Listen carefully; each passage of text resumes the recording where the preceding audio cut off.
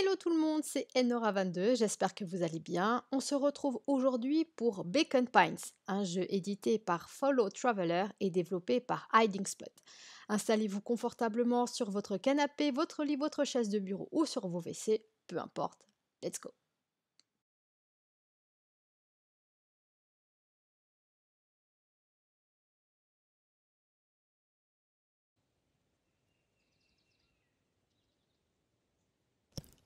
Ok, donc là, on a obtenu une sorte de fin différente. Là, on n'a pas utilisé ça. Là, on a utilisé tout. Donc en fait, il nous manquerait cette partie-là pour Strange. Il faudrait qu'on fasse quelque chose de Strange.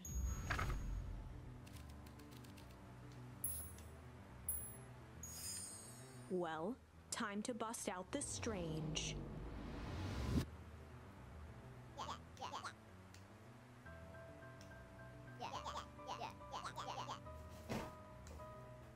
Stared in silence, the only sign of life being the twitch of an eye.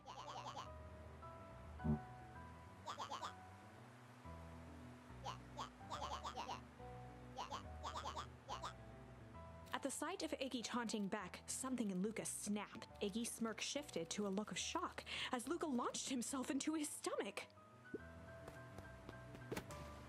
Iggy's clothes were drenched in the glowing ooze.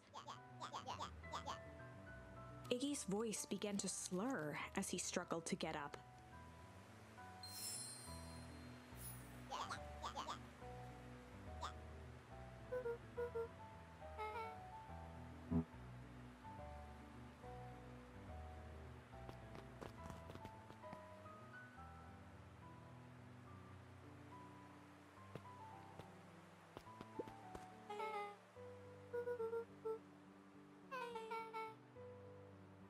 At the warehouse, this strange ooze, and what it did to Iggy.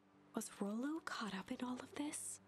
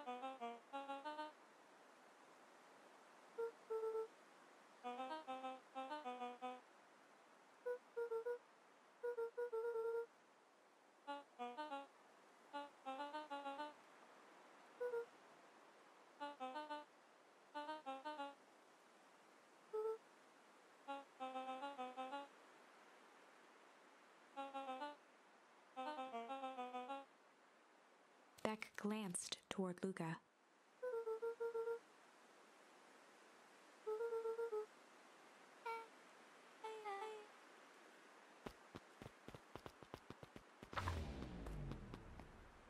Rollo was safe.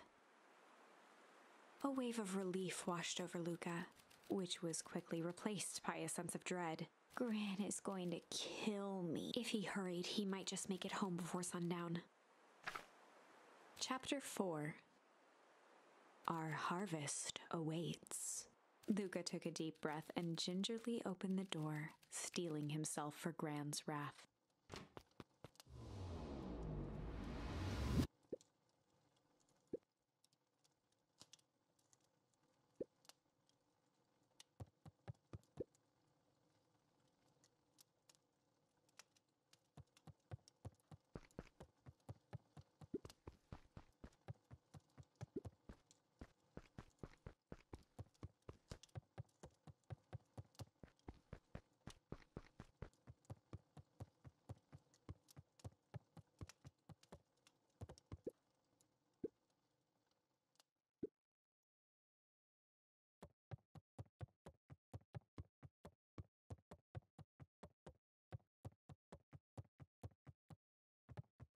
Was alone. The house was empty.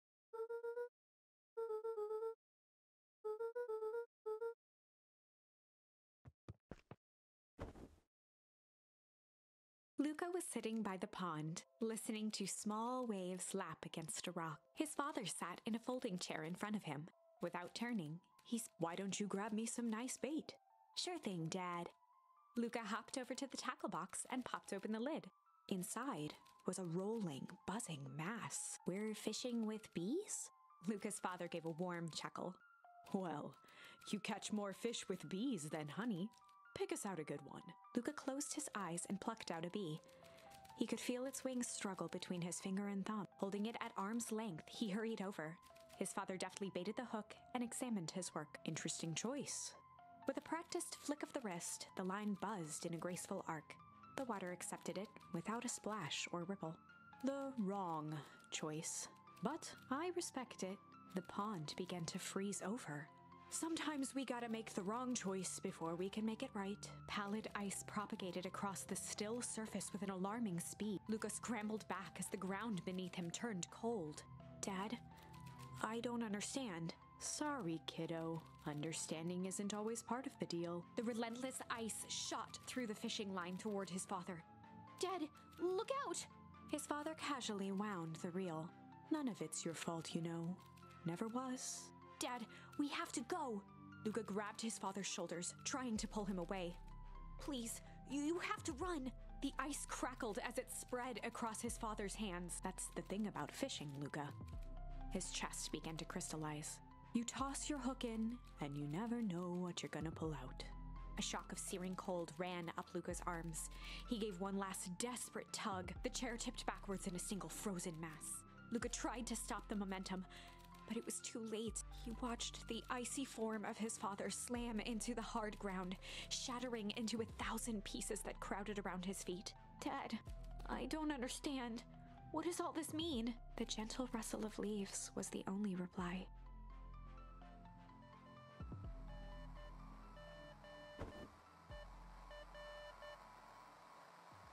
Luca's eyes struggled to focus on the walkie talkie.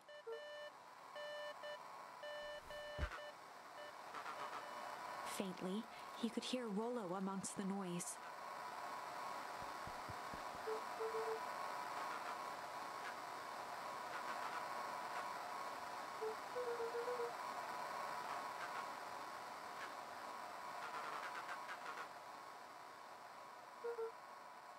Rollo's voice was coming through more clearly now, but some words were still just static.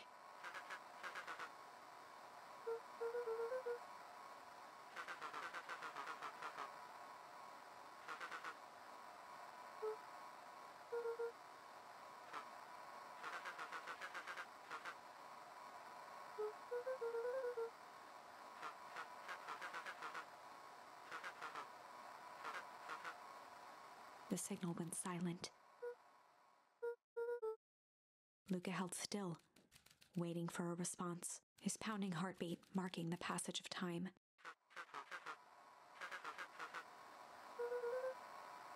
Rollo's voice began to fade.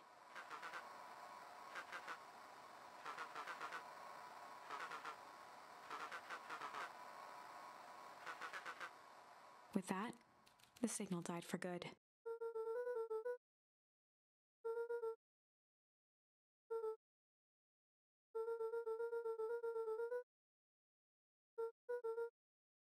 Grabbed the walkie talkie and sprinted to the treehouse.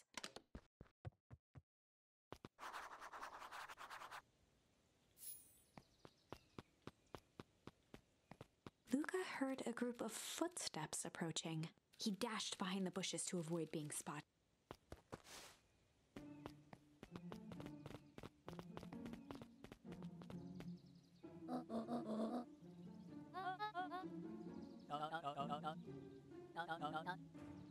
Mr. Tolliver paused, shifting his eyes to one side.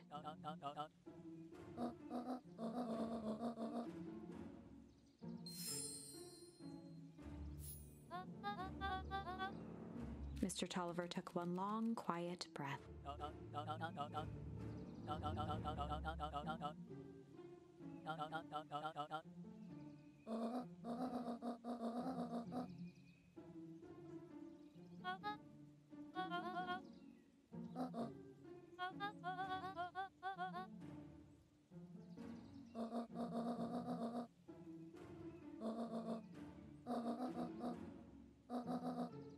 The three shared a determined look.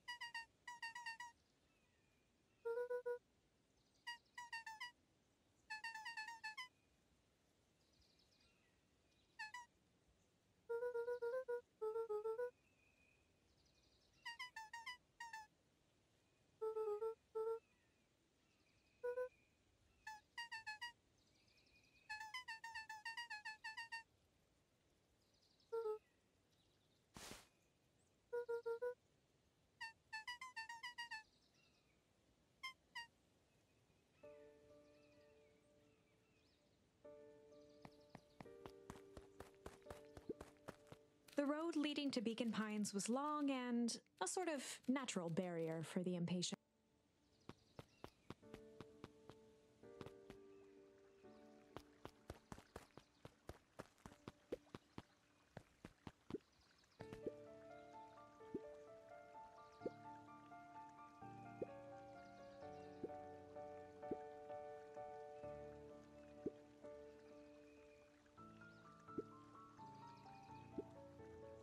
Two boys shared a mischievous grin.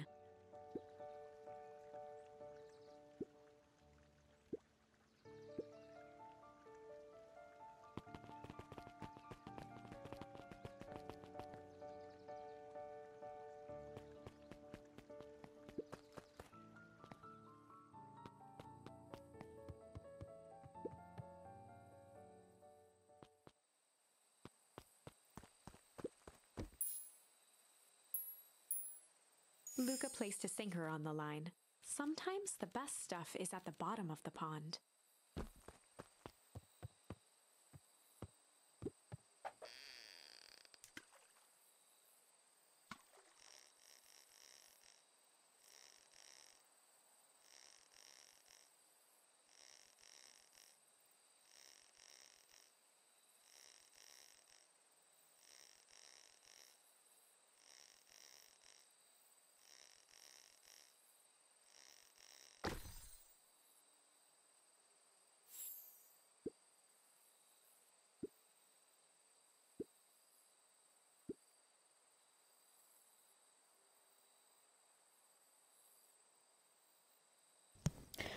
Ok, donc il y a un succès où on doit pêche- pêcher pardon, toutes sortes de poissons.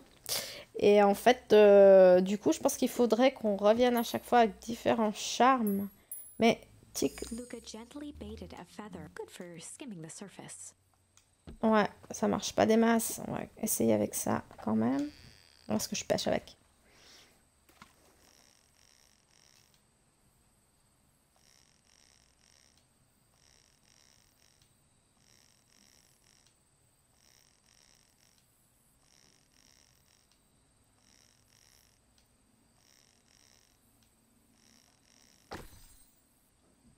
Et on a pêché un petit canard. Bon.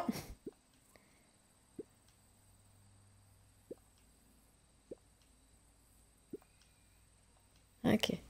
Donc là, on a utilisé les trois charmes qu'on avait pour l'instant à disposition.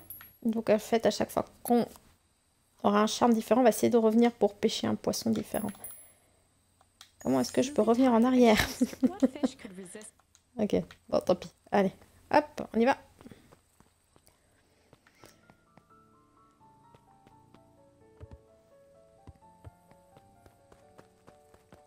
Ce qui est assez bien dans le jeu, au final, c'est qu'il y a plusieurs choix à faire. Enfin, on a des charmes, ces charmes vont nous donner plusieurs directions dans l'histoire, mais c'est, ça reste assez linéaire, au fond. Et euh, c'est plutôt pas mal. En plus de ça, il y a du suspense. On a une enquête à mener, donc euh, c'est vraiment, vraiment bien fait, je trouve, ce petit jeu. Dommage juste pas traduit en français.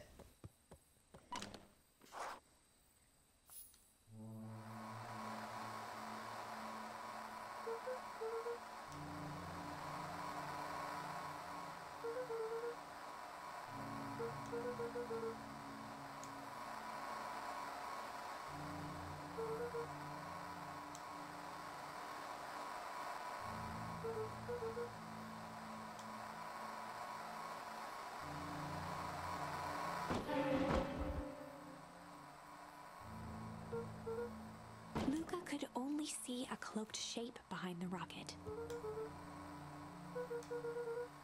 He strained to hear as a muffled voice began.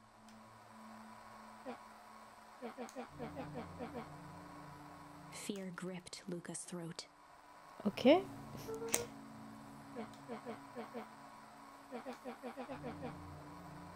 Luca stared at the ground for a moment, trying to place the dampened voice. The figure shifted slowly from behind the rocket, revealing itself to Luca.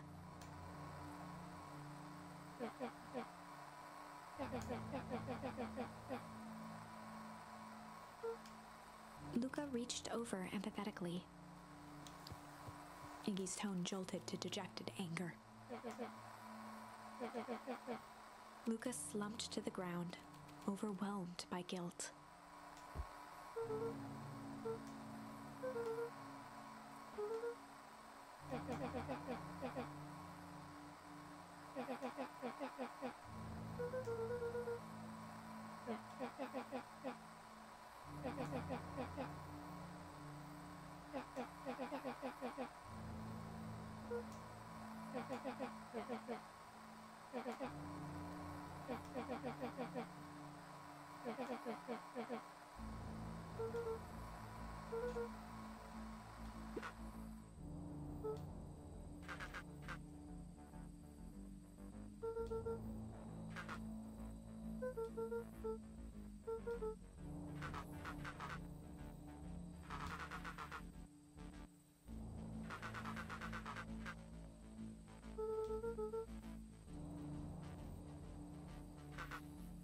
yeah, yeah, yeah, yeah, yeah, yeah, yeah, yeah, yeah.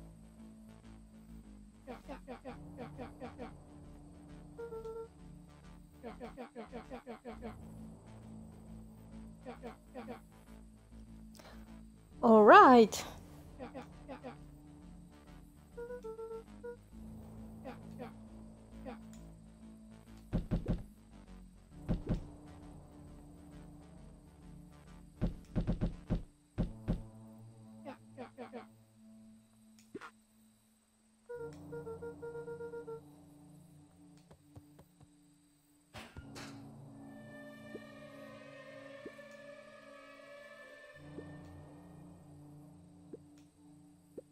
Ouh là là, ils sont combien là?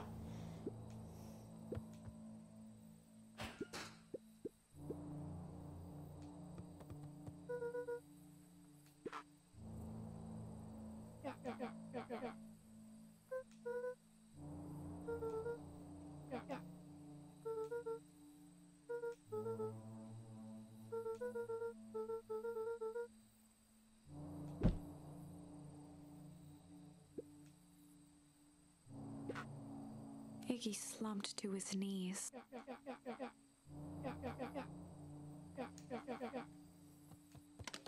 Luca grabbed the walkie talkie and headed for the window. Luca and Iggy climbed up the back of the treehouse to its roof, where Rollo had constructed his MCDC, the Mission Control Defense Cannon. Hmm. From behind the crowd of clipboards, William Kerr strode forward, a warm smile on his face.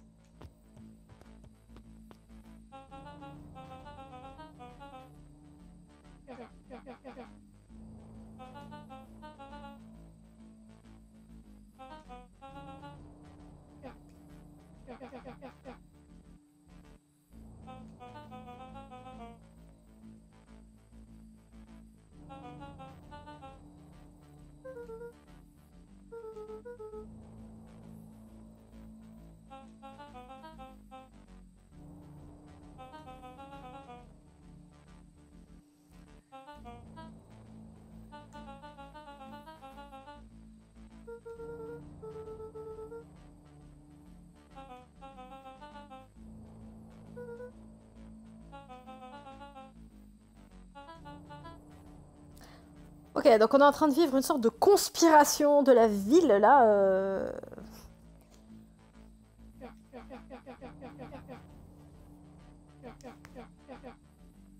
Kerr's smile faltered.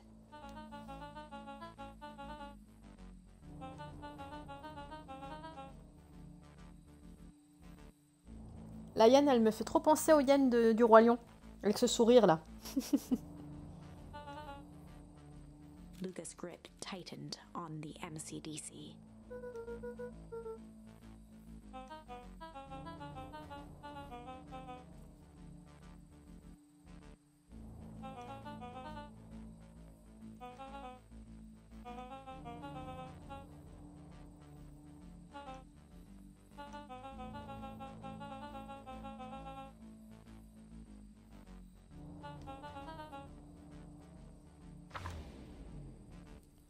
Ok, Luca's mind raced. He was caught in a trap. What do you do when there's no hope? He wiped his cheeks with a sleeve. What are you gonna do, Luca?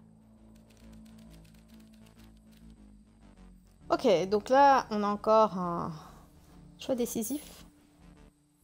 Et on a que ça, on a que fight. On va aller fighter. Luca drew himself up and decided to take the only option they had left. He swung the mission control defense cannon around, aiming it confidently at the smirking face of William Kerr. Luca summoned his most insolent demeanor.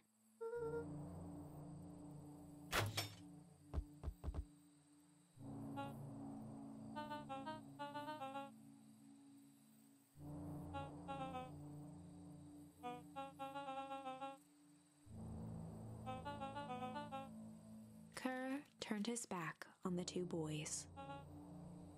With a nonchalant wave of the hand, he made his exit. As the clipboards began to slowly advance on the treehouse, Luca looked to Iggy with resignation in his eyes. The end. That escalated quickly. Maybe discretion was the better part of valor here. Let's put a pin in this for now.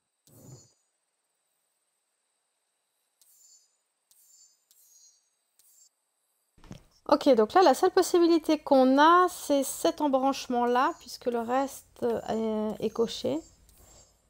Donc ouais, on va aller par là.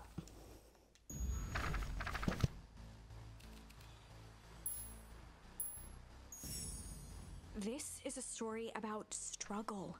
Luca could hear a machine humming somewhere nearby. He felt around wildly, searching for something, anything that could help.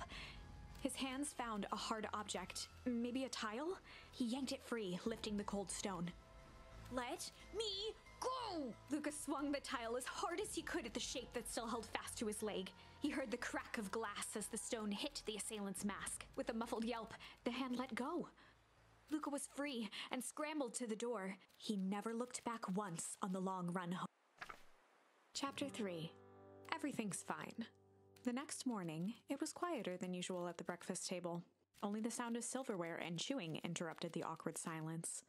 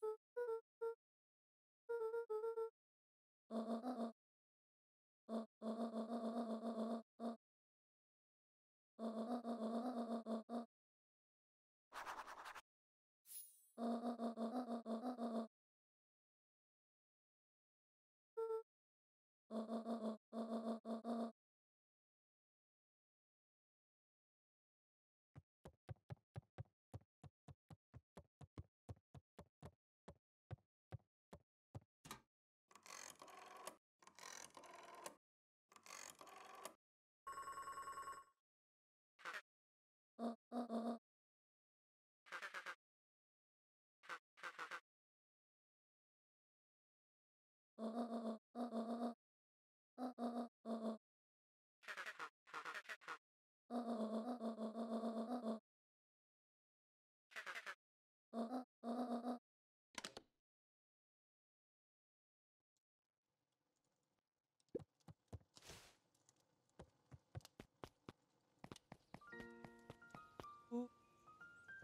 ooh, ooh, ooh.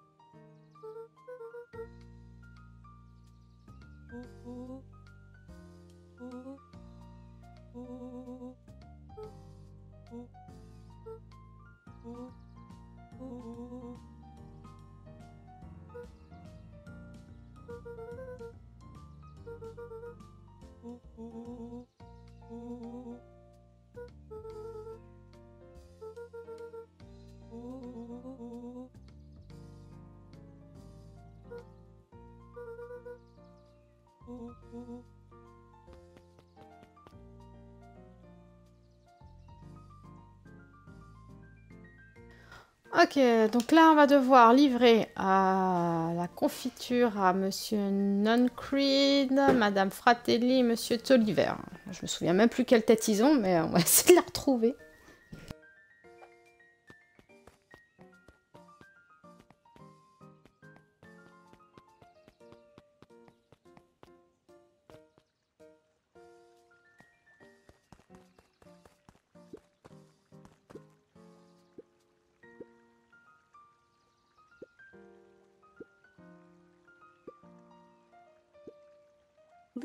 The soles of his sandals.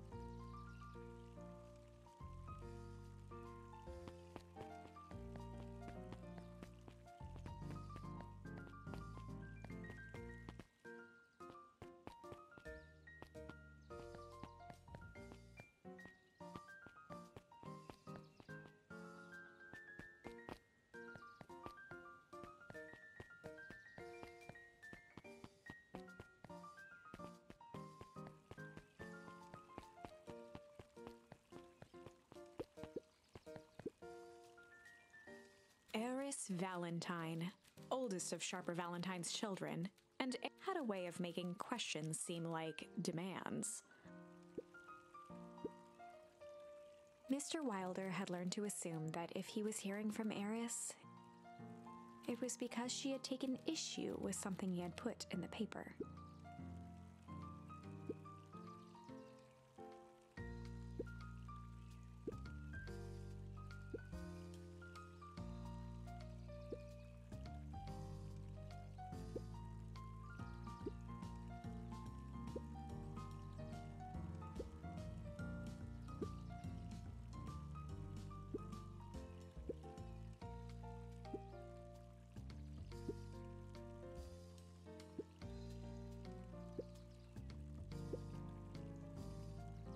Mr. Wilder averted his gaze and began to polish his monocle.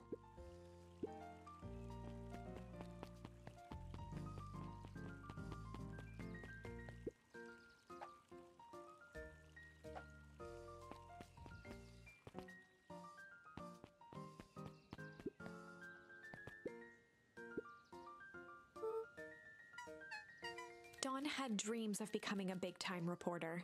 At night, she searched for the story that could be her big break. By day, she hawked papers at the newsstand.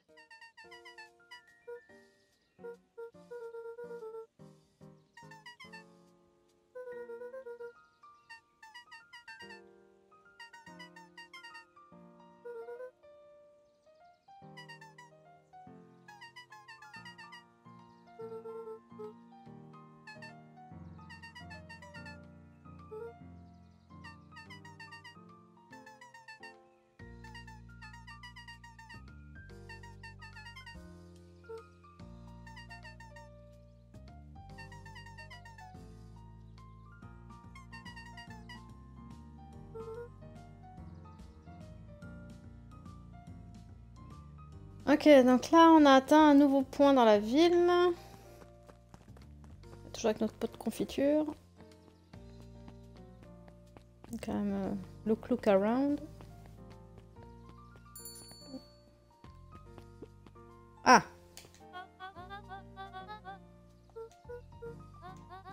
She leaned forward and pinched Luca's cheek.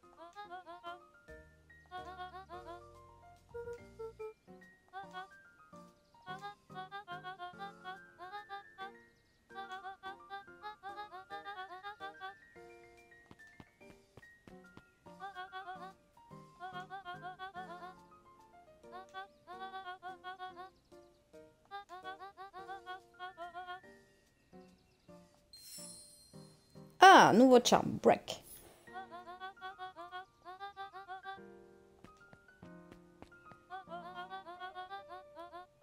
Luca shifted the basket uncomfortably.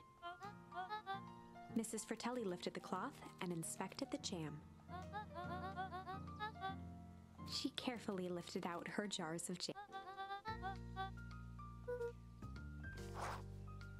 Ok, donc on a livré déjà notre premier pot de confiture. Peut rien faire. Ça, sera le deuxième, je pense. Ah non.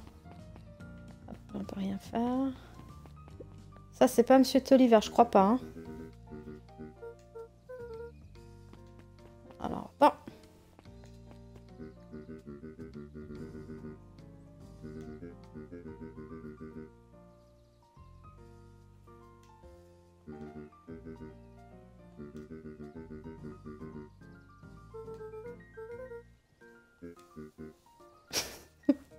Pas un bon maire.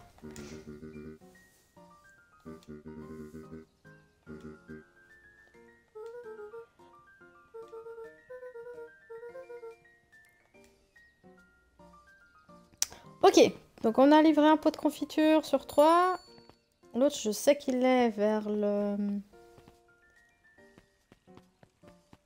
Alors, est-ce que si on descend...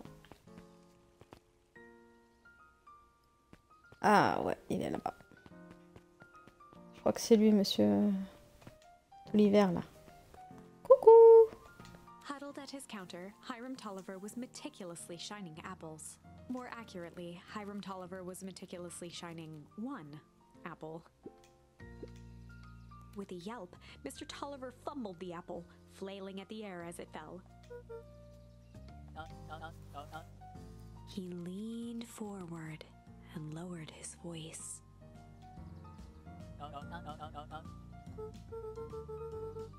He leaned in a bit further. Mr. Tolliver leaned back, speaking loud enough for anyone to hear.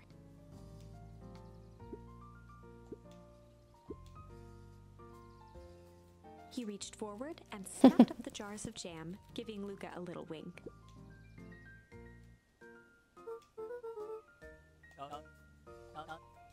He leaned in for a final whisper. Hé Il y a un- une grosse pastèque, là. Oh Ça y est, we did it On a kické... Ah non, bah c'est pas celui-là. On a kické un watermelon. Ah bah si c'était celui-là, un watermelon. C'était celui qu'il fallait kicker. Ok, tant mieux. Et puis il y en a un autre c'est watermelon bongo.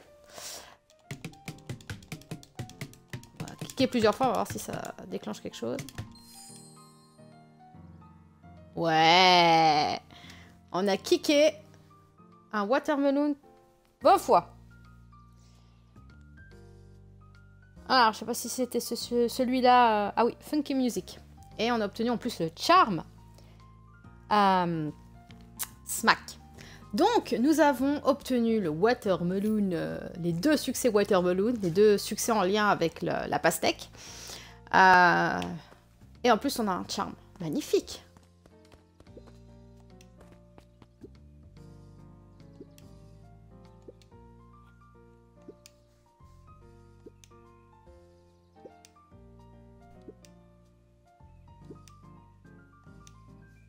Ok. Donc on n'est pas si mal que ça au final. hein. Pas si mal que ça au final. On va voir si on peut faire quelque chose de particulier au musée. Est-ce qu'on peut rentrer dans le musée? On peut rentrer dans le musée d'histoire. Magnifique. We all know Beacon Pines is a great town. What you may not know is great towns grow from mighty roots. And that is why you cannot tell the story of Beacon Pines without telling the story of one Shopper Valentine. Young Shopper's keen intellect and strong moral fiber led to a grand vision. A vision of a community dedicated to a better tomorrow.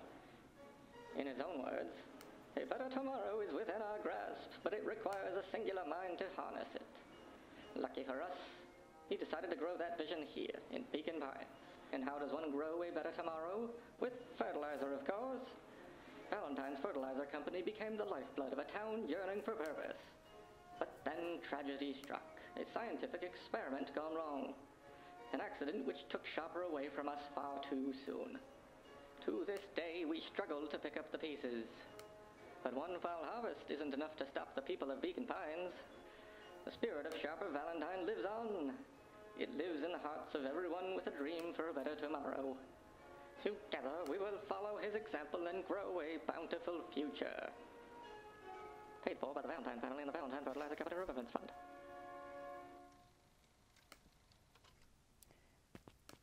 Ok.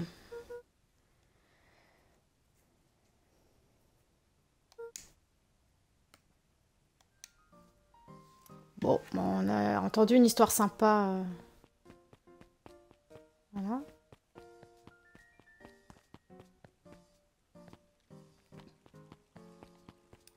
Alors, on va livrer les derniers pots de confiture, du coup.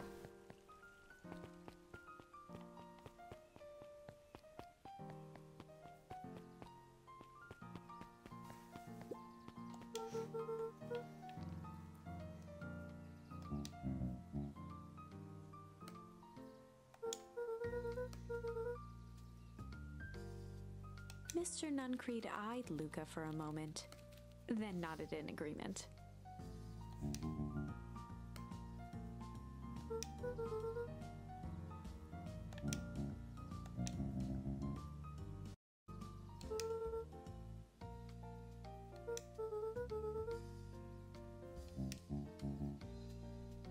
Nuncreed snatched the basket from Luca.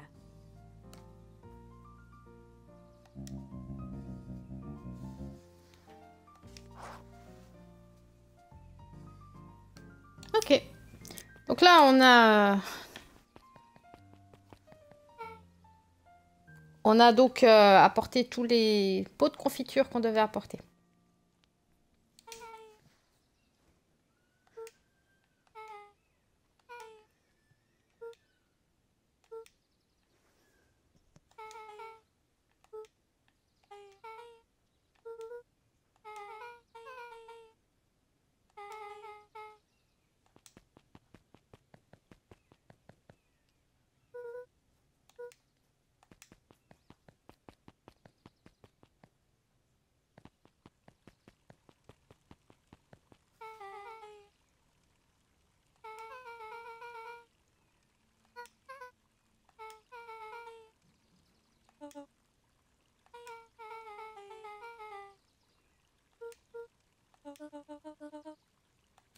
Locked eyes with Luca. The look on her face was equal parts expectant and desperate.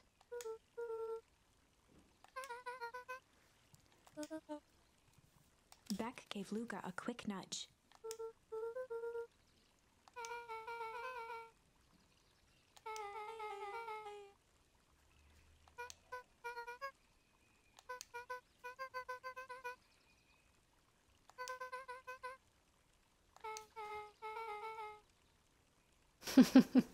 Apparemment, il faut 5 amis. Pourquoi pas?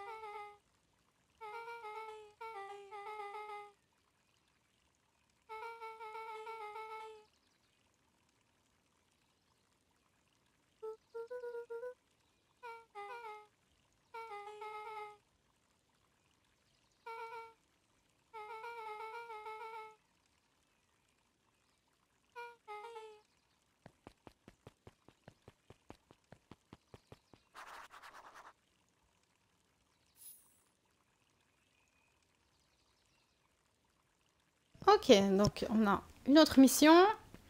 On va juste, avant d'aller euh, rejoindre notre nouvel ami. Euh, Ah, un autre personnage.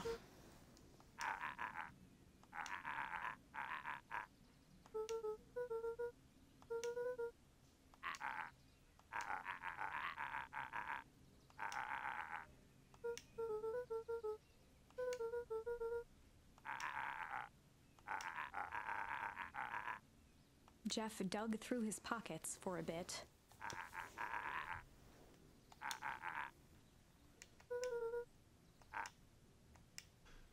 Alright. On va juste retourner à la librairie parce que c'est open. Je vais voir si on peut cliquer sur d'autres trucs.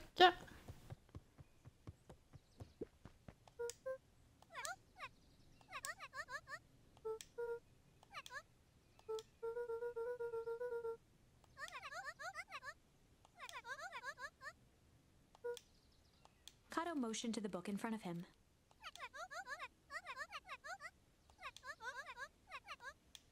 Mhm.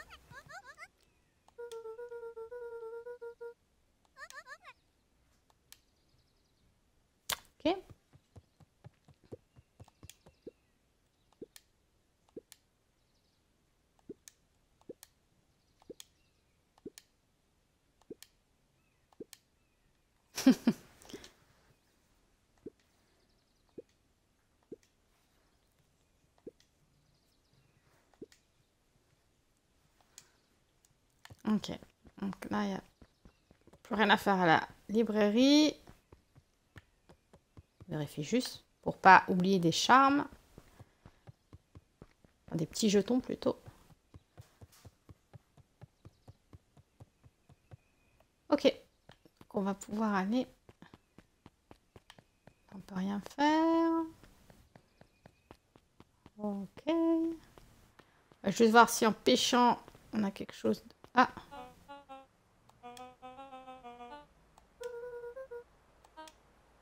Non, c'était pas prévu qu'on aille par là.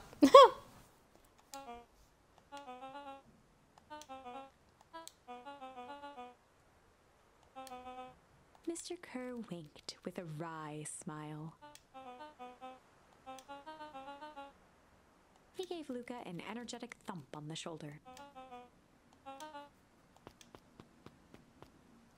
Voilà, voilà.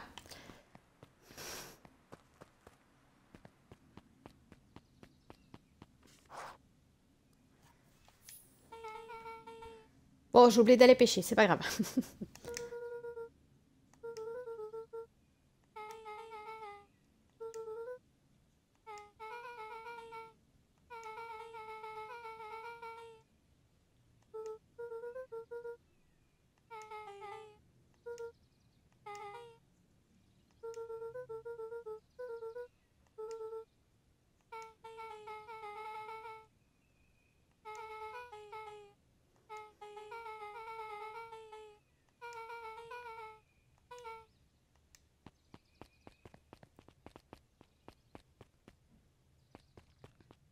En tout cas, les dessins sont super bien faits hein, dans le jeu.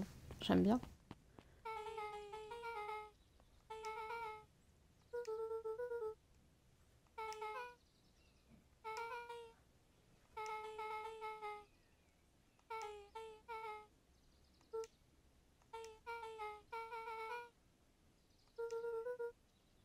Beck took a long breath, then gave a firm nod. Ok. Chapter 4 Dinner with the Moodwills.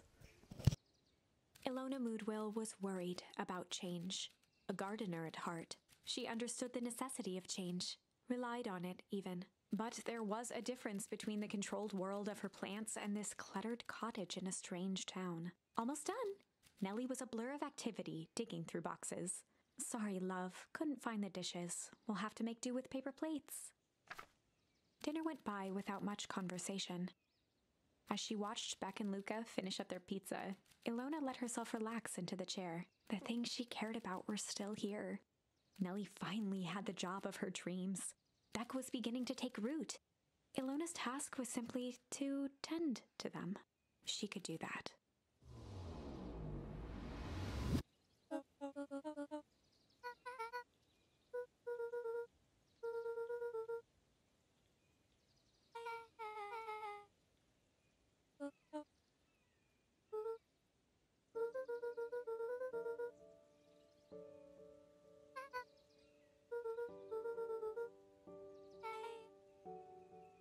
Eyes were fixed to his plate, pushing a chunk of pineapple around with his finger. Nellie was the one who eventually broke the silence.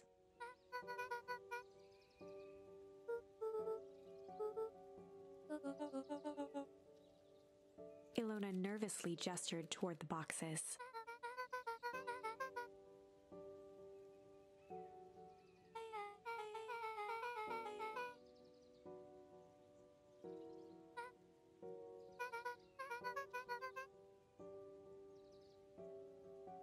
Wiped his face with his sleeve. Beck gave Luca a swift kick under the table.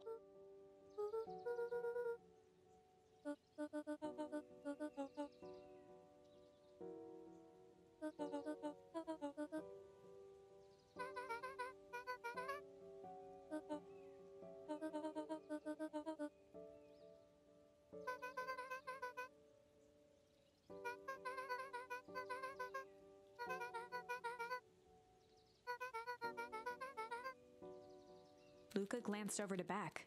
She seemed to be holding her breath.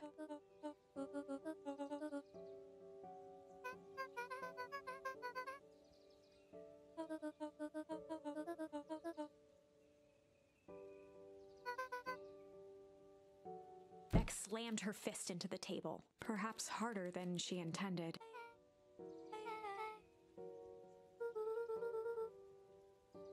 Luca glanced outside to gauge the time. The sky was darker than he expected, filled with ominous clouds.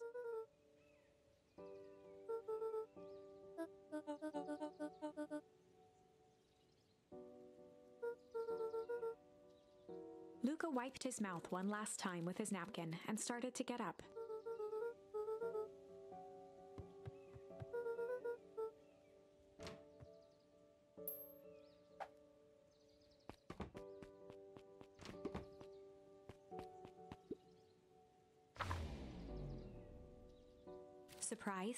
Turned around. He knew Rolo could be prickly around new people. But Beck seemed cool. Rolo would warm up to her eventually. Probably.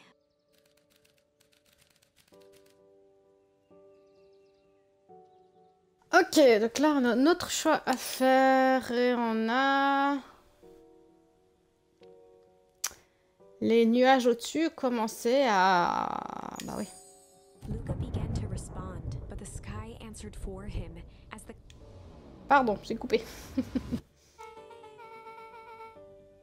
Luca surveyed the roiling clouds. At that moment, the heavens opened up, unleashing torrential rain. Et ben voilà, il pleut.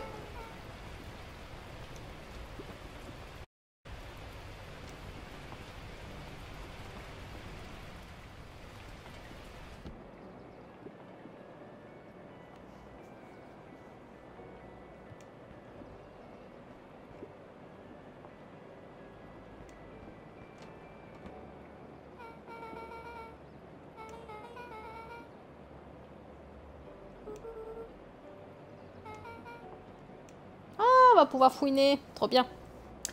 On adore les jeux, on fouine. Alors, on fouine, c'est parti.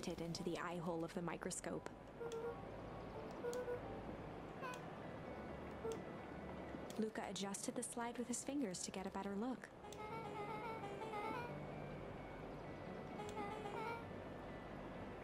Luca wiped his hand off on his sweater and gave a nervous laugh. Elle est en train d'analyser un morceau de chewing-gum. Beck looked down, timidly tapping the ladder with her feet.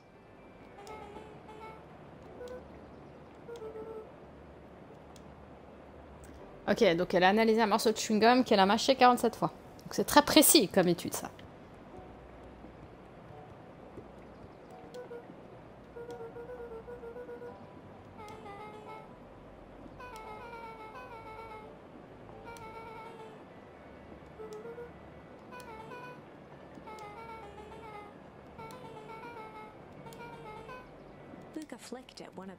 The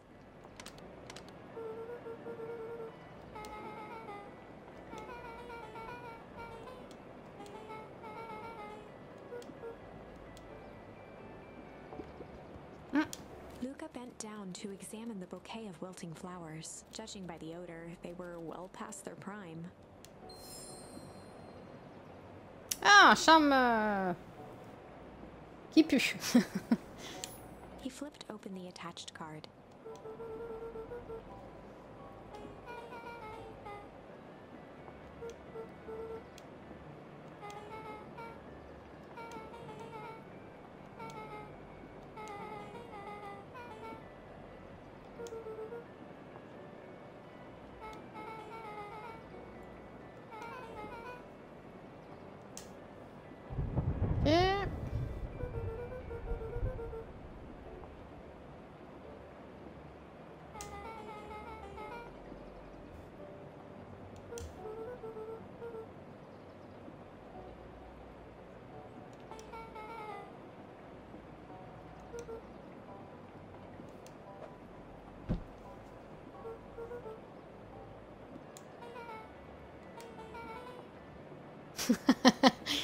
Ça fait mal Oui, plus que je m'y attendais.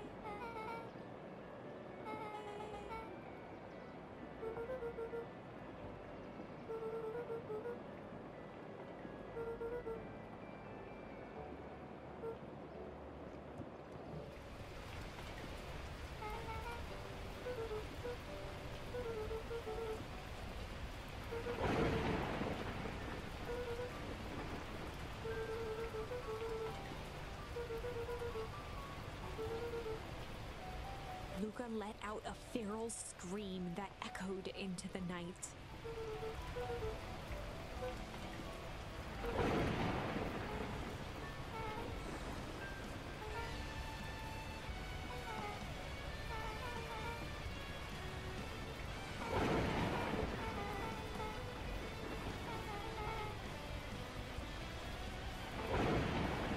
Her voice dropped to a trembling whisper.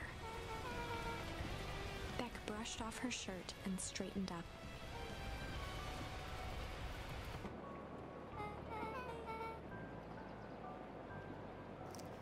Bon, euh, elles ont pas eu tort, hein. De temps en temps, je pense que hurler sous la pluie, ça peut être pas mal. À essayer la prochaine fois.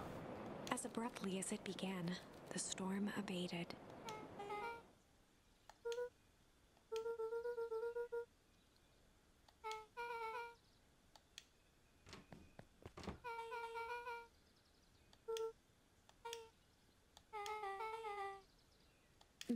Luca a light thump on the arm before heading in. Chapter 5 Friendly Feud.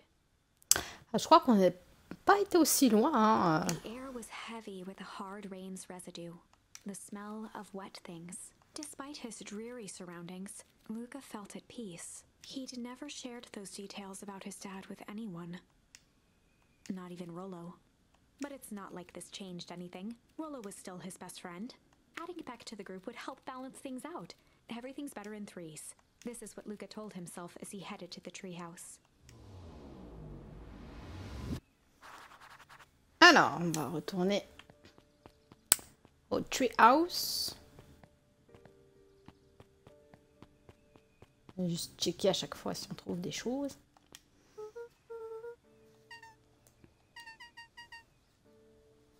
Juicy.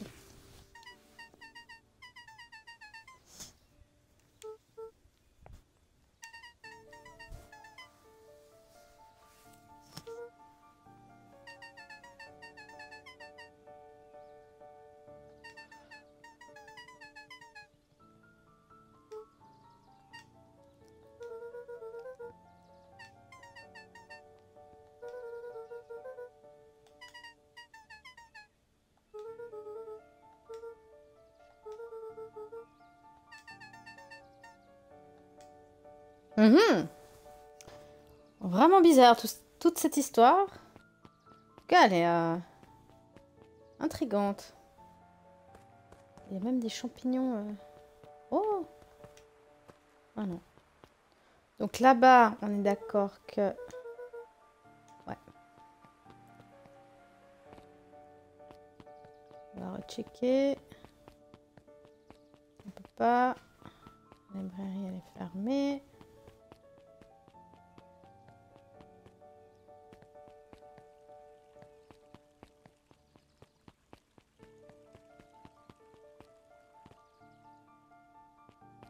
Pense pas que retourner au musée va m'apporter grand chose, mais.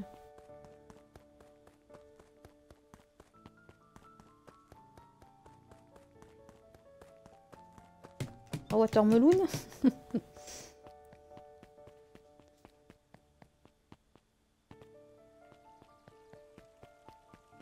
Ah, Elle est toujours en train de lire, elle Waouh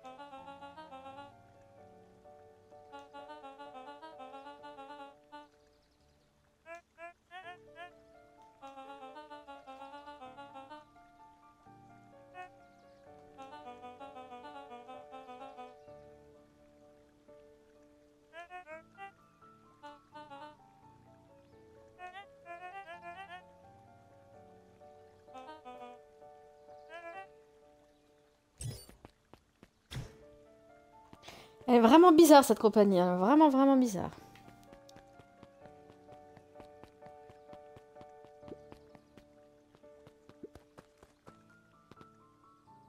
Alors je vais voir si je peux pêcher autre chose.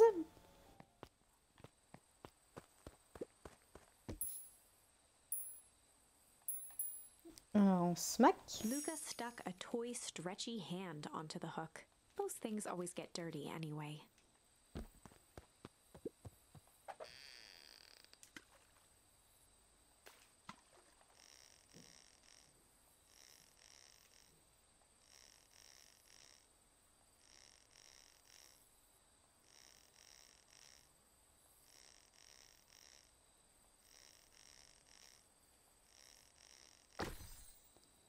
Donc j'ai pêché un bracelet je crois.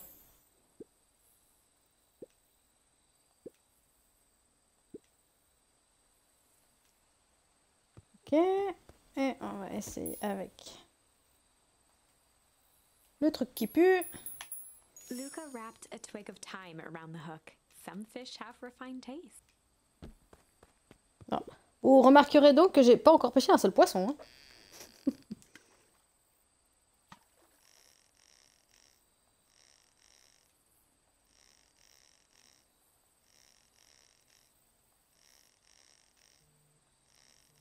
C'est extraordinaire.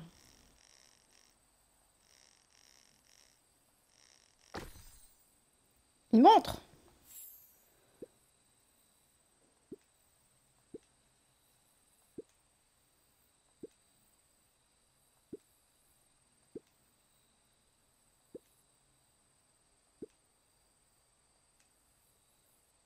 Ok, bon, je pense qu'il nous manque encore peut-être un objet ou deux. Pas loin d'avoir peut-être un poisson.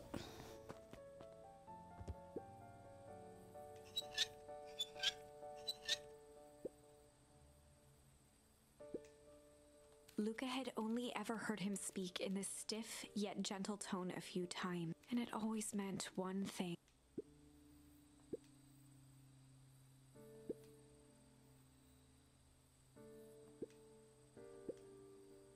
Rollo scoffed.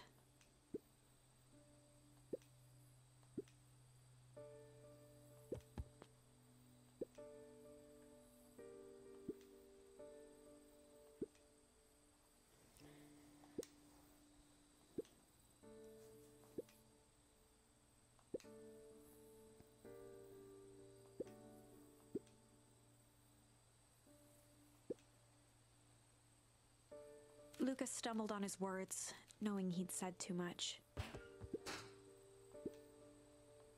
Oula.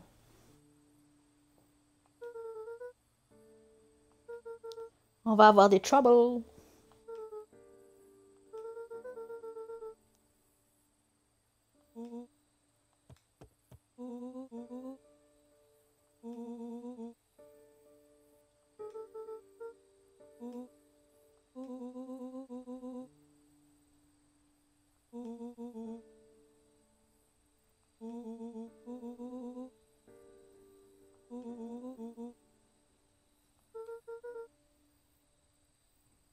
Luca became instinctively angry in response. Both boys were now shouting across the distance. Oh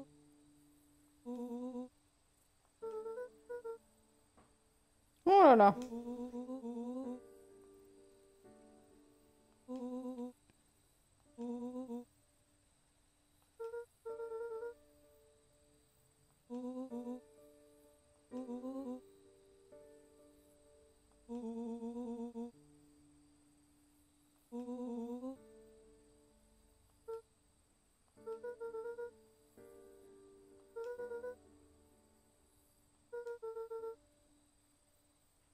Rollo's tone changed to a calm, yet more intense anger.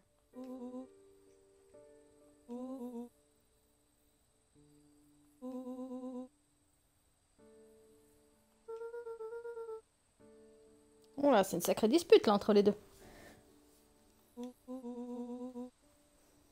The words hung in the cold night air. Rollo's stomach dropped, knowing he'd crossed a line, but it was too late.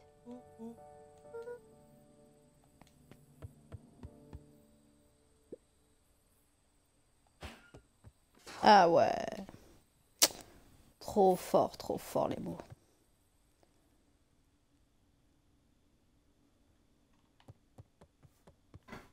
Bon, on va voir s'il y a encore des choses à... Et fouille, fouille.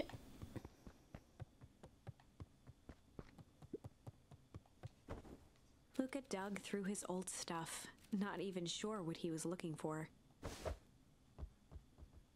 Oh Je vais cliquer dans un ballon.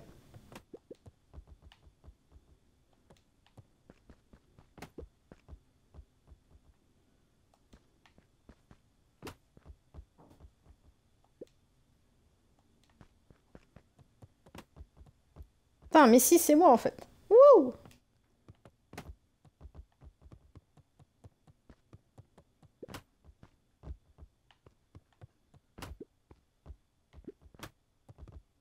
Je sais pas s'il y a un succès en lien avec un ballon de foot. Je crois pas.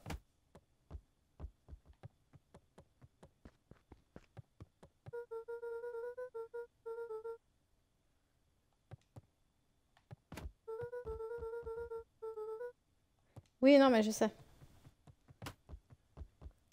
J'essaie juste de voir s'il y a succès en lien avec un ballon. mais je crois pas.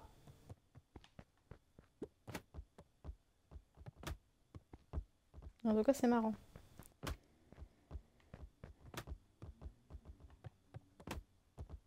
Non, bon, on va s'arrêter de jouer au ballon.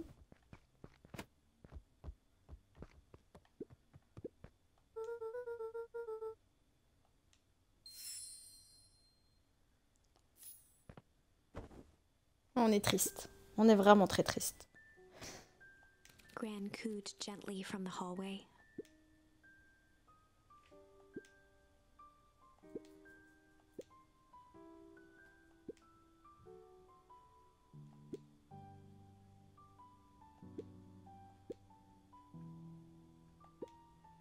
Luca just wanted to be alone.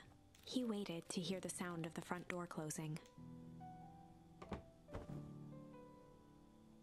On rejoue au ballon ou bien... What?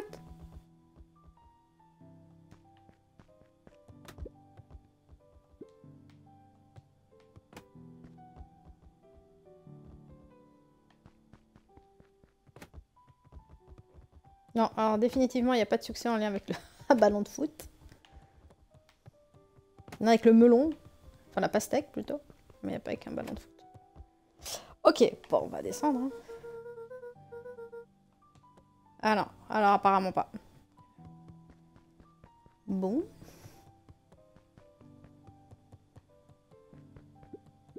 On va pas se recoucher quand même.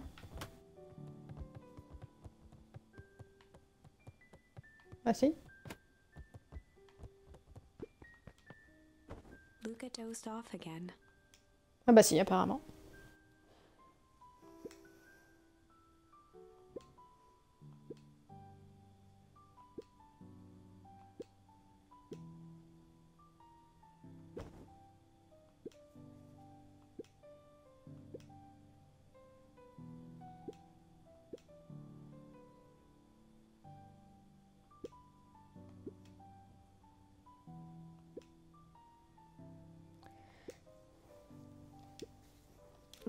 Still couldn't bring himself to go out. Besides, if he ran into Rollo, he'd have to actually confront the situation. Donc on va rejouer au foot encore un petit peu. Ok.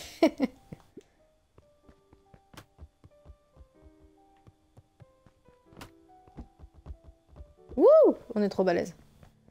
The Adventures of Hank Atomic. Luca carefully opened the cover and began to read. Rollo had received it for his birthday, a special hardcover edition with behind the scenes commentary and bonus art. Rollo cherished it, but asked that Luca keep it at his house. Luca wasn't sure if it was because Rollo didn't trust himself with it, didn't trust his sister around it, or just wanted an excuse to come hang out at Luca's more often. Whatever the reason, Luca didn't mind, but it had stayed right there where Rollo had stashed it ever since. Now, at the foot of his bed, Luca lost himself in the pages. He'd read it all before, but at this moment, it somehow felt sentimental. He was well into issue number five when he heard soft footsteps from the hallway.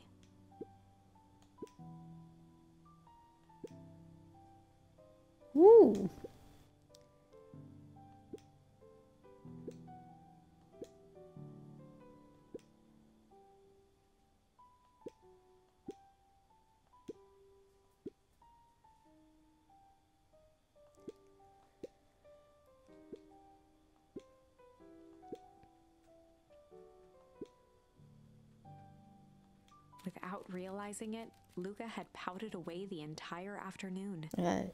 Pas mangé ni matin, ni midi, ni soir.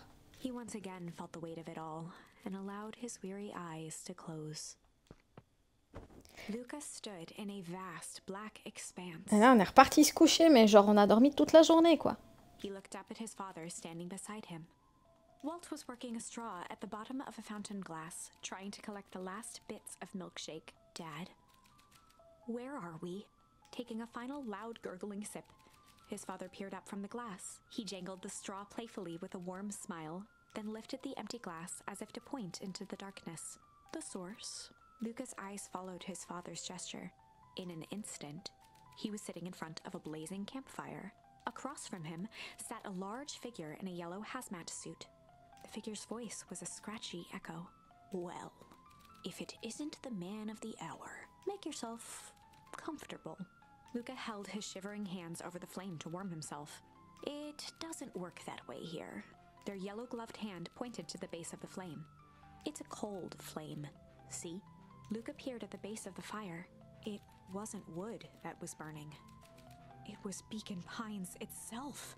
Tiny buildings, freezing and crumbling as they were consumed by flame. Luca could see small shadows moving in the burning city. People. Luca leapt to his feet. We've got to help them! The figure gave a dismissive wave of their hand.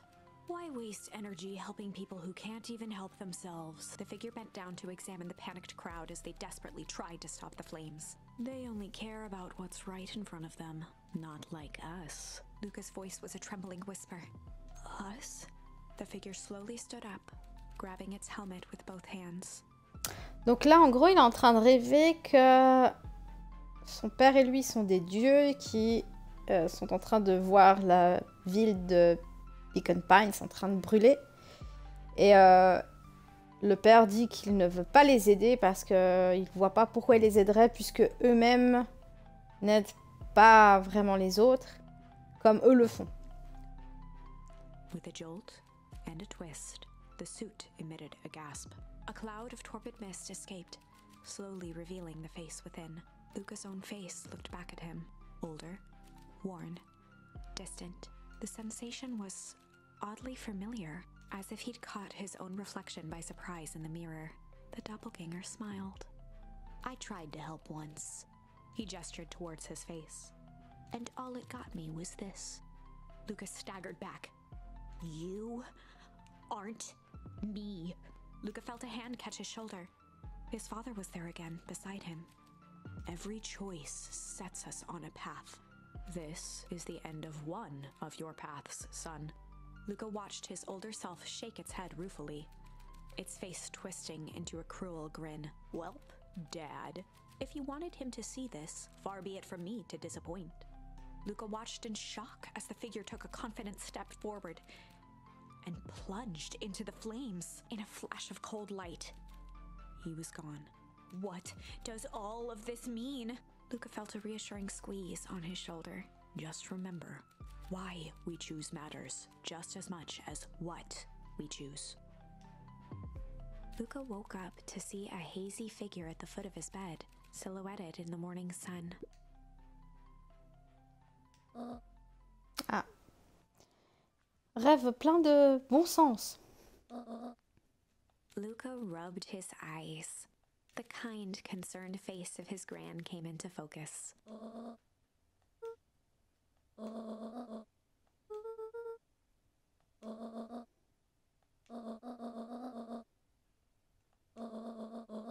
Ah non, plus de blabla, s'il vous plaît. Gran silenced Luca with a gentle pat on the leg. C'est un jeu où il y a beaucoup de blabla quand même. Hein.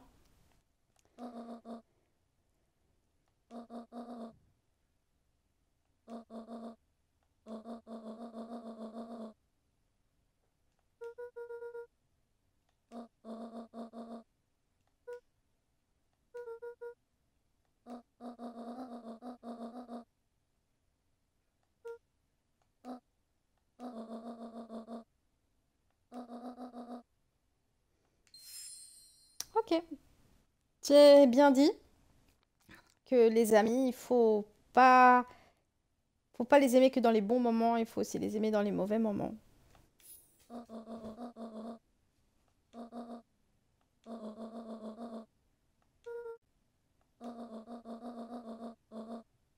Luca gave a reluctant nod.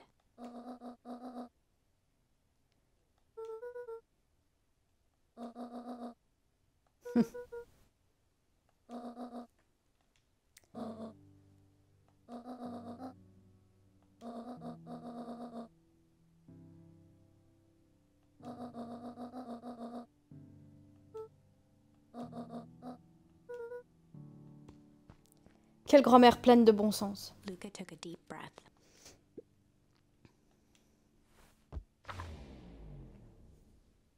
Chapter 6 Voilà.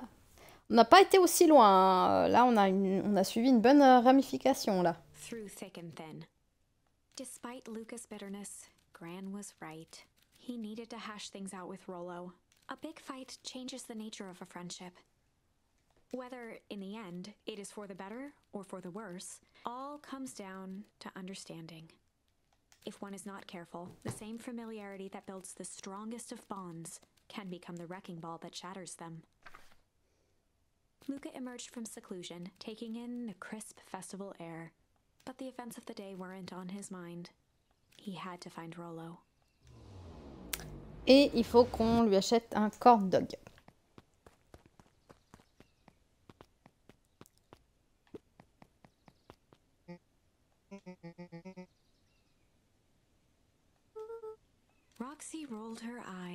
Shaking her head.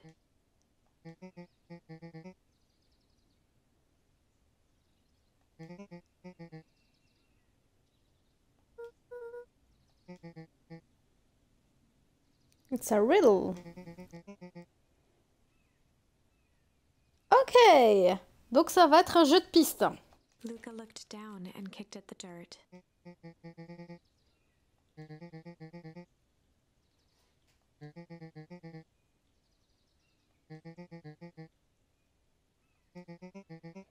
Elle a des bras, je me, je rends compte là, hein, mais elle a des bras super, enfin des avant-bras super méga musclés. Ça me terrifie.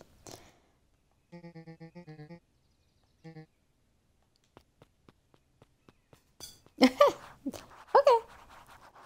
Donc, euh, une aventure que tu n'as pas besoin d'acheter. Et si tu es brave, va à un endroit silencieux. Mhm. Une aventure que tu n'as pas besoin. Ah, est-ce que ce serait pas la librairie?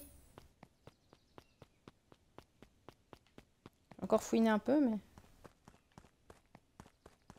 trop des charmes. Est-ce que c'est pas la librairie?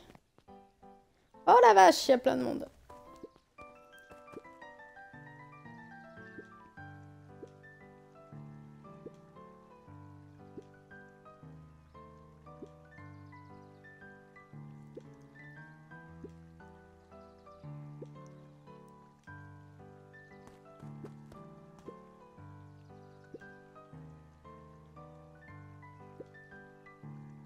Ok. Non, on peut pas louper son...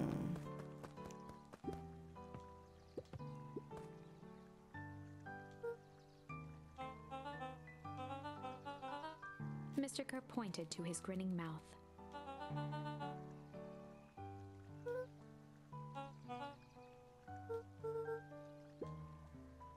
Give me the gift. ok. Est-ce qu'on peut lui parler à lui? Je crois pas.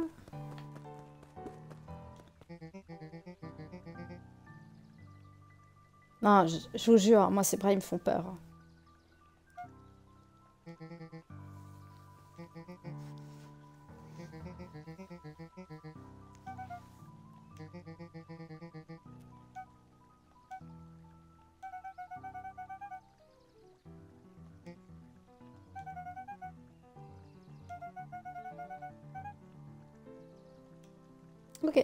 Aller déguster de la limonade.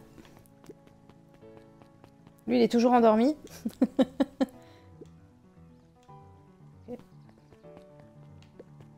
Hmm, Est-ce qu'on la connaît, cette personnage-là Ah, si. le connais.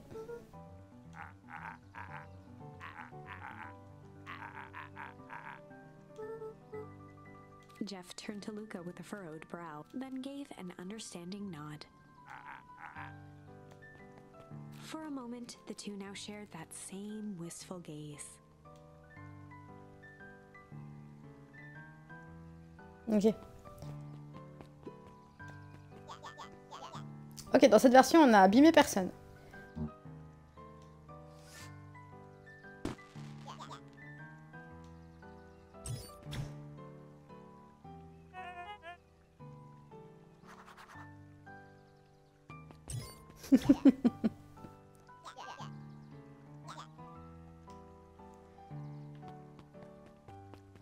Bien, ils ont attaché des ballons euh, au-dessus d'une poubelle pour rendre la poubelle plus jolie. Waouh. Superbement beaucoup de monde. Ah non, non, non, non, non, c'est bon, c'est bon, ne peut rien.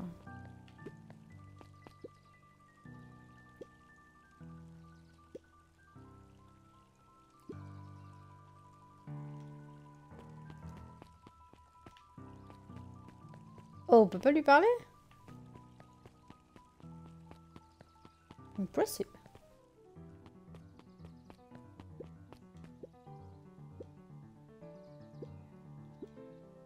Sariel became flesh.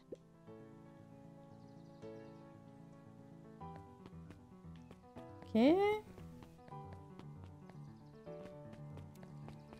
Là non, là non. Elle, on peut pas lui parler.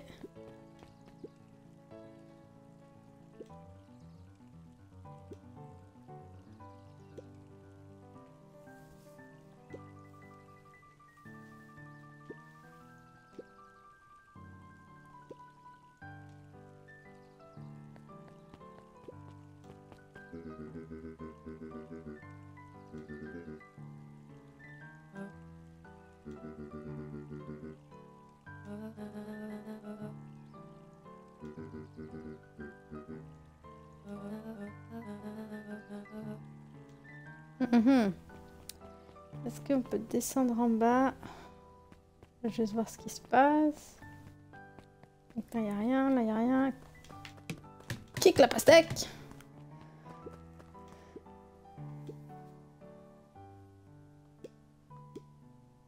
Griffin looked away suspiciously. Ouais, ouais, ouais, ouais. C'est bien la librairie.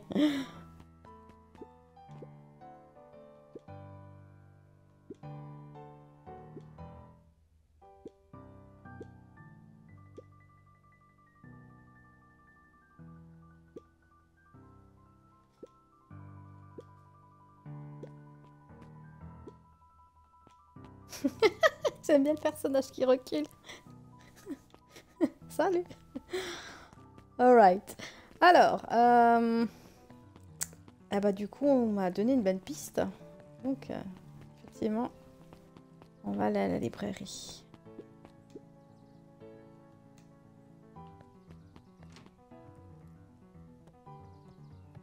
Alors, on va juste rechecker les livres. Je crois qu'on est bon. Eyes lit with excitement.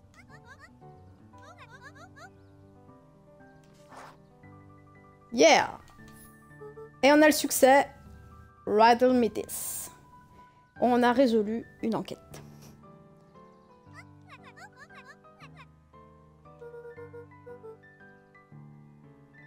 Kato straightened up and cleared his throat as if preparing to sing.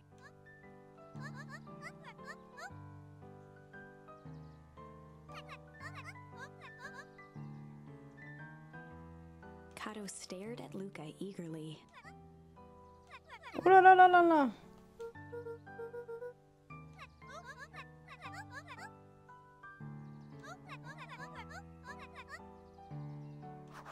Ok. You may take... Prendre une sortie. Elle... Quand le cinquième roi mourut, tu as besoin d'un tissu. Waouh! Ah, attendez, attendez, attendez. Alors là, c'est une sacrée énigme. Alors, quand le cinquième roi... On prenne une sortie, you may take... Oh là là. Ça, c'est plus compliqué. Est-ce que quelqu'un a une idée? Attends. On planet Farpool. Tu devrais prendre une sortie. Et quand le cinquième roi meurt, tu as besoin d'un tissu. Waouh. Je vais réfléchir.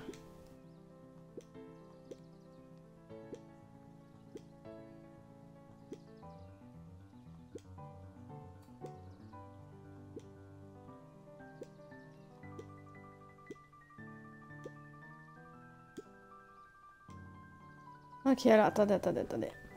Ah, ouais, des livres à nouveau.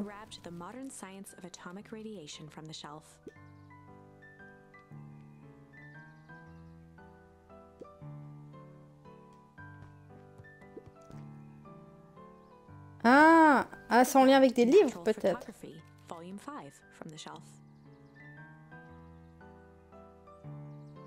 Le roi est mort. Non, c'est pas ça. Attends, oh là là là là là. C'est une histoire de roi. Luca grabbed the five pillars of success from the shelf. Oh, il y a les cinq partout. C'est une blague. Euh... Non. Luca grabbed The Issue with Self Help, a helpful guide. From Ah, peut-être celui-là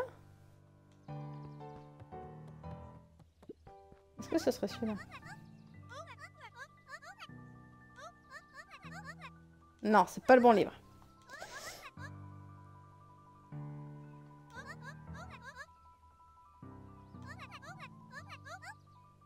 Cinquième roi.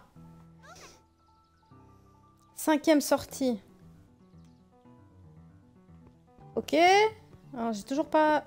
Je l'ai toujours pas. grabbed 500 meals for one big pot from the shelf. Non, c'est pas ça non plus alors. Cinquième sort. Ouloulou, ça c'est pas facile là.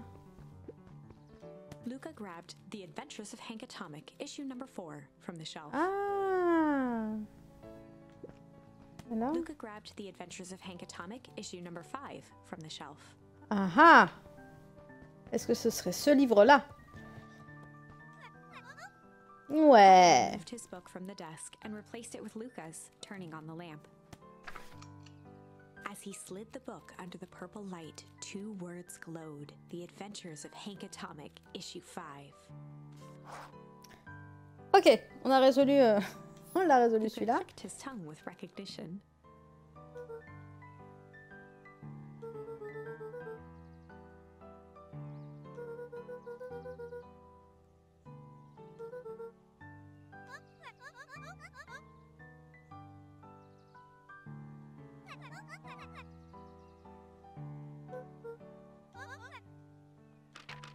Clicked his tongue with recognition. Kato began flipping through the pages, stopping when he hit a glowing word.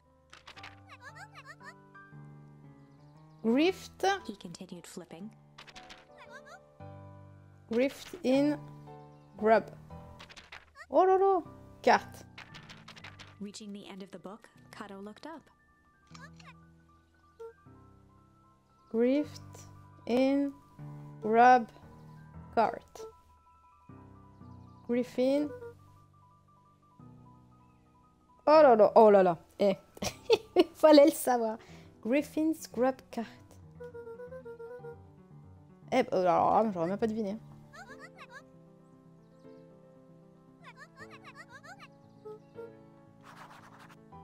Je sais même pas où c'est? Je sais même pas où c'est. C'est où ça? Griffin machin. Obligé, c'est en ville. Griffin truc. C'est par là. Ah, c'est ça? Ah Voilà. Before Luca could finish his sentence, Griffin handed him a corn dog.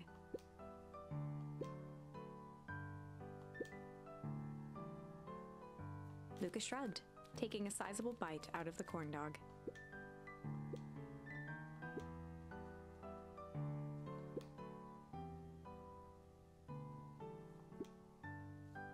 Luca Mhm. tugged at his cheeks, feeling something rough between his teeth.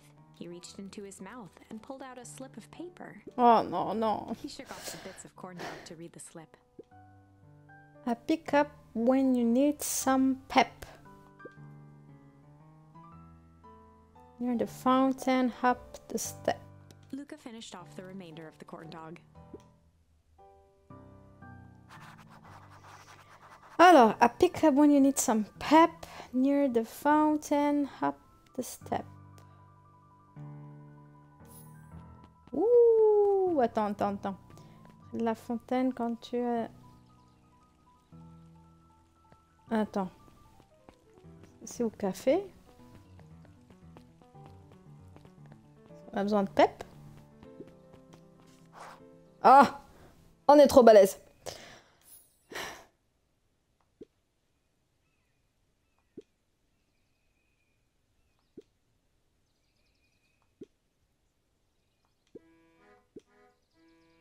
Lumi waved his hands around sarcastically as he began. What takes flight but has no wings? Prend son envol mais n'a pas d'ailes. Your final task a friendship brings.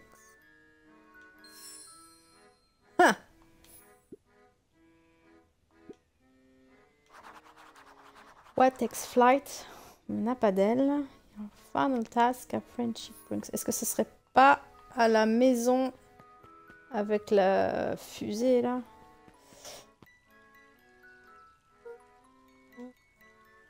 Ah là Ah bah apparemment c'est ça.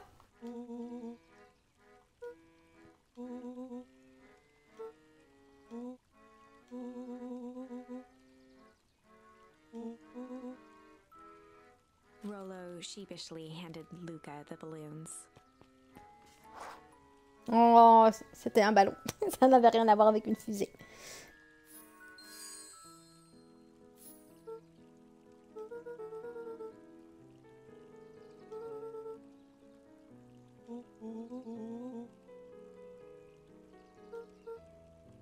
Oh, c'est trop chou.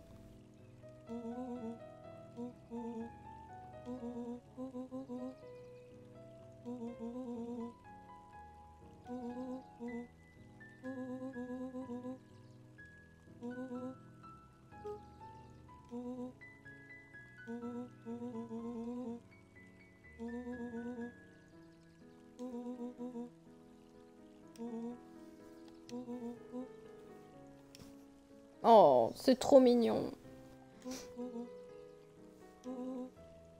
Luca threw himself at Rollo, hugging him as tightly as he could. Câlin.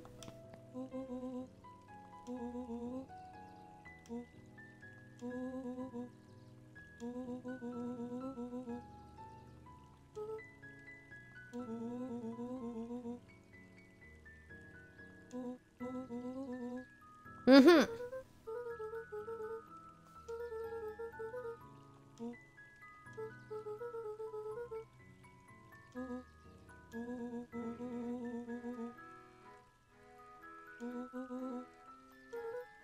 Mhm.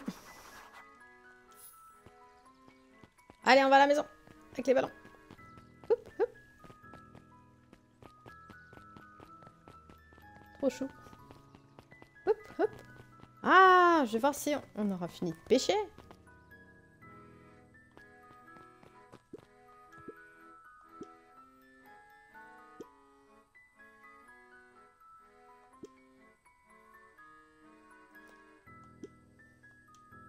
Allez, on va la tree house.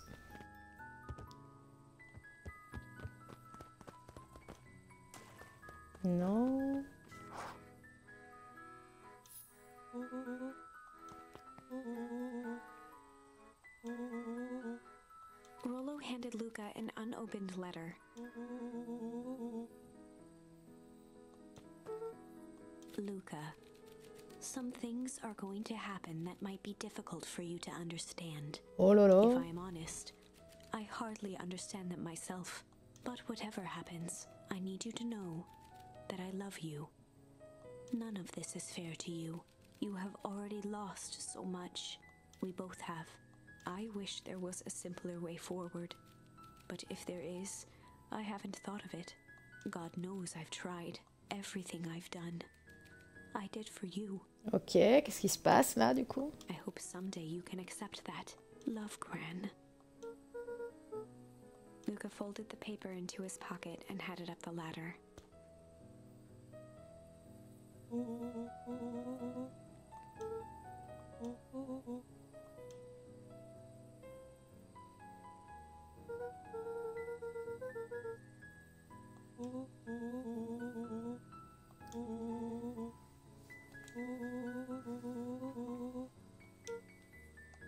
Was at a loss for words. But that was fine. Words aren't always necessary.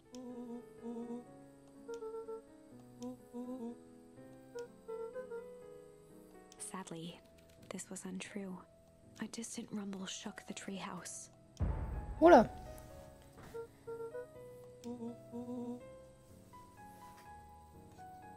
It was not fireworks. It was something the boys couldn't possibly comprehend.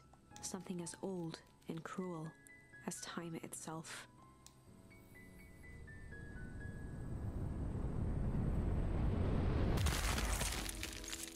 Waouh. Waouh, waouh, waouh. De Big Chill. A shockwave of cold tore through the room. A bitter, Succès. unfathomable chill. Before they could react, it encased them in ice. Ok, euh, j'ai pas tout compris. Donc, là, ils étaient tranquillement euh, dans leur maison, dans leur cabane dans l'arbre et tout, euh, loupant la- le festival. Et ils se sont fait geler. Two boys, reunited by friendship, only to be cruelly separated by a malevolence beyond reason. Ok. And so, our story ends on this melancholy scene in a silent treehouse turned statuary, in a town brought low by its secrets, sits for the rest of time. The end. Ok, donc ça, c'est une des fins possibles. j'ai même pas compris la fin. C'est-à-dire que cette fin-là fait que, en fait, euh, ils sont gelés. Elle est hyper chelou, cette fin. hein. Et elle est hyper chelou. No, that can't be the ending. It simply can't. I won't accept it, and I hope you won't either. There are more endings, more possibilities. I can feel it. Ouais, parce qu'elle est bizarre, la fin. going to have to sort through them all until we find the one that fits. Ok. Donc. Alors. On va juste regarder toutes les fins possibles. Donc là, c'est soit... Ah, on a plusieurs fins possibles. C'est soit là, on flight. Soit là, on break. Ah ah Gauche ou droite? Gauche ou droite Qu'est-ce qu'on fait? On flight ou on break?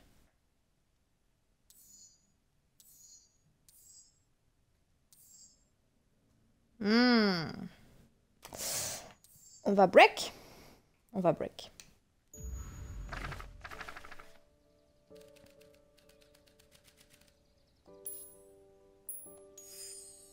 Luca began to respond, but the sky answered for him as the clouds above began to break, revealing patches of star filled summer night. Moonlight filtered down, shimmering in the treetops.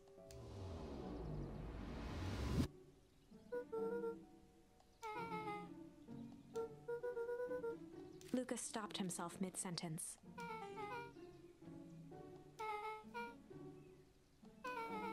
Boob.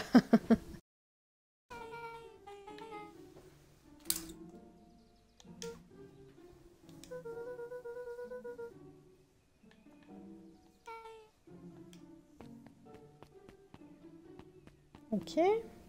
Luca saw Beck skulking by the gate.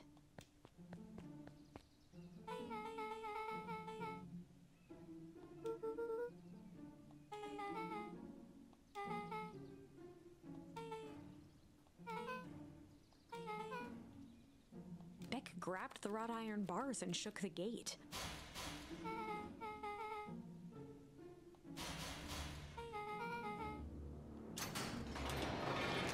Ok, donc on a une fin complètement alternative là.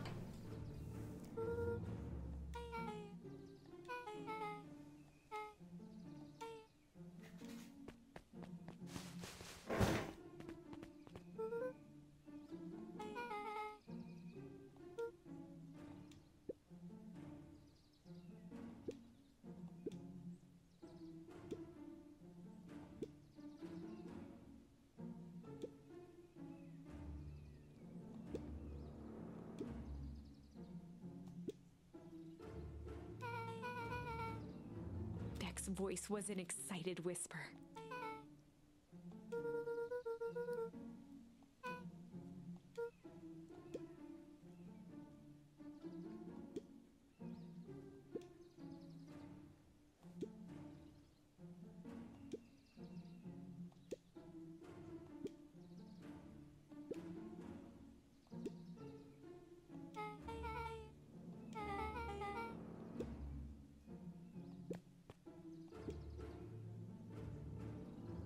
Mysterious figure retracted their mask, hair pushing out from all corners.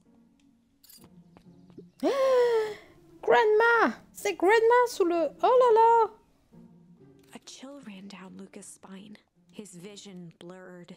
Beck stifled a sharp wince, and Luca looked down to see himself wrenching her hand. Gran tousled her hair back under the face mask.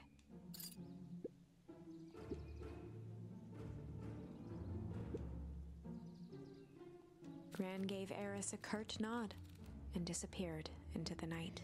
C'est Grandma Wow!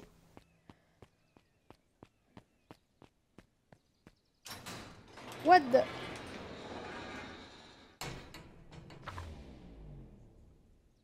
Chapter 5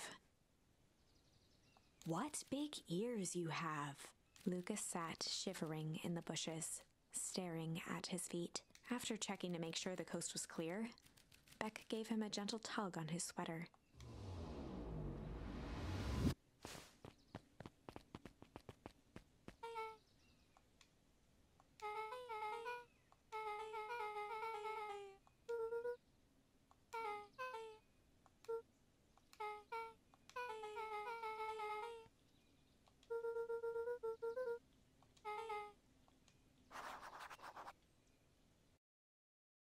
Sur ce, je vous laisse. N'hésitez pas à vous abonner à ma chaîne YouTube ou à me rejoindre sur mon Twitch. On se retrouve pour la suite. D'ici là, portez-vous bien. À la prochaine. Ciao